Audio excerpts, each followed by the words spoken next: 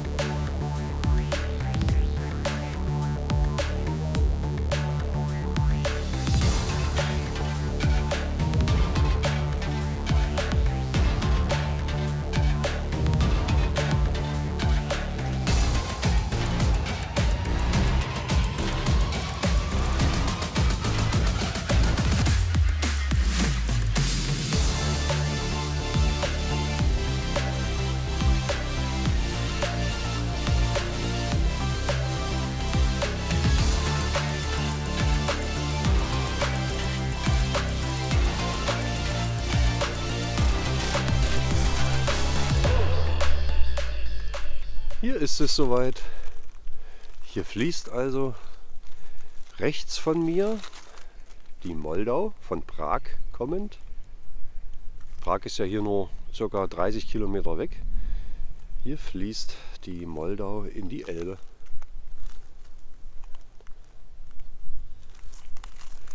Und die Moldau ist der größte Nebenfluss. Da kommt sogar die Saale nicht mit. die bei Kalbe in Sachsen-Anhalt in die Elbe einfließt. Ja, Wasserqualität, das sieht hier eigentlich ganz gut aus. Bin hier auf so einer kleinen Landzunge und jetzt geht es weiter. Erstmal ein Stück an der Moldau entlang.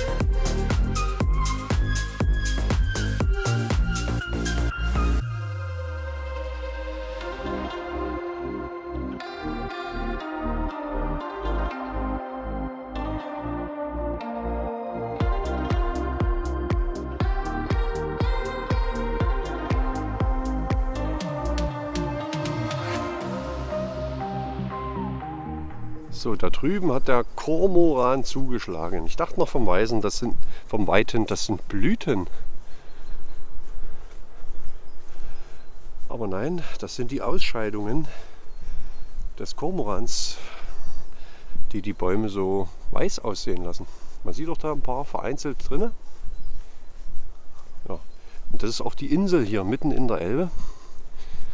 Das heißt, hier geht auch kein Mensch. Da drüben ist zwar ein Haus, wird doch kaum ein Mensch lang gehen. Die sind da also völlig ungestört. So, hier düst gerade ein Flugzeug entlang. Ein ganz kleinmotoriges.